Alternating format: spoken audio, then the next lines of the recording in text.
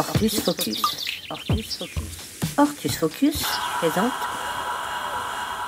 C'est un porophilium rudéral, c'est son nom botanique, et puis euh, son nom commun c'est papalo.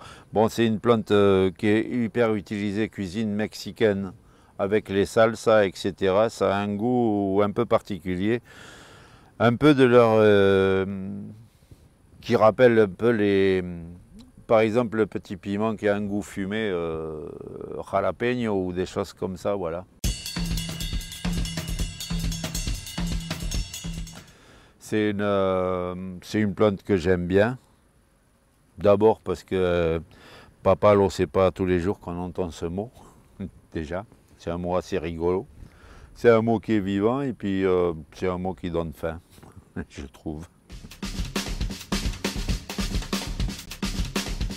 C'est une végétation hyper rapide, c'est une annuelle. hein. Bon, là, elle va, monter en fleurs et puis à un moment, elle va avoir des fleurs.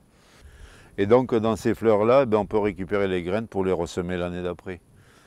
Parce qu'avec les mauvais jours, même s'il ne fait pas froid, comme les jours raccourcissent beaucoup, elle va quand même euh, disparaître. Elle a besoin de soleil, mais elle supporte très bien la mi-ombre aussi.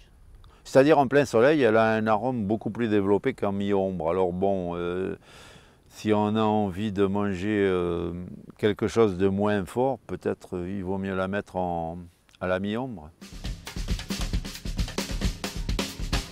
Ça serait dommage de la cultiver en pot. Là, pour le coup, ça serait forcément dommage. Oui, en pleine terre, elle va, prendre, elle va devenir assez, assez grosse. En pot, elle va rester minuscule.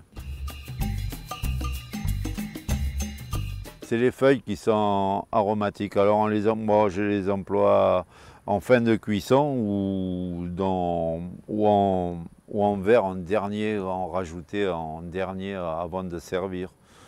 Voilà, ça a un goût assez particulier.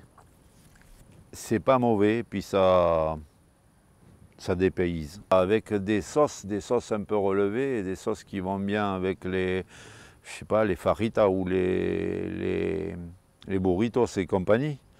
Enfin des euh, des plats un peu, un peu relevés euh, d'Amérique du Sud.